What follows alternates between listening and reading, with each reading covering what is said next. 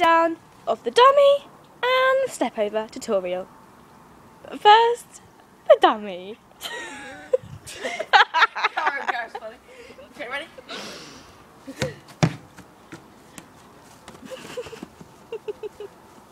so, first, guys, go for a save the ball from a player, and we turn the ball.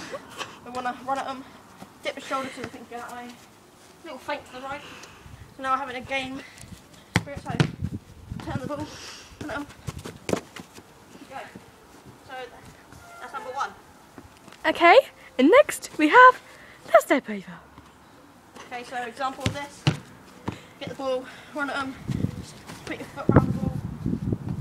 So, as I said, ball like this. That was running at them, um, slow motion. Not in this bit, but run at them. You're gonna put the front the ball like this, put a knee down on our shoulder to make it look obvious like that. So now fast motion in a game situation. Grab ball, right on my pace. Okay. Next.